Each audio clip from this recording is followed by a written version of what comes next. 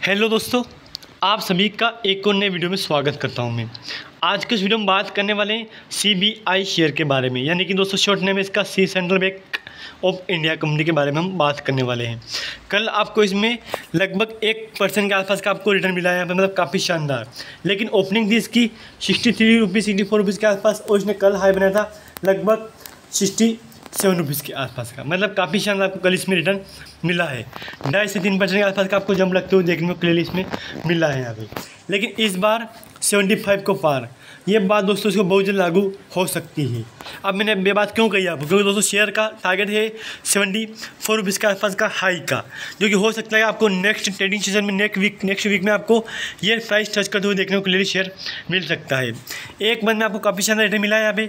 अगर एक मंथ की बात करता हूँ मैं तो डाउन सर्किट इसने फोर्टी फिफ्टी फोर रुपीज़ का बनाया था, लेकिन हाई इसने लगभग बनाया नया रिकॉर्ड इसमें। तो हो सकता है कि आपको पंद्रह रुपये के आसपास का एक मंथ रिटर्न मिल चुका है मतलब काफ़ी शानदार आपको शेयर रिटर्न दिया है पे हो सकता है कि ये शेयर आपको शॉर्ट टाइम के लिए सेवेंटी फाइव की प्राइस आपको देखने को मिल जाएगी।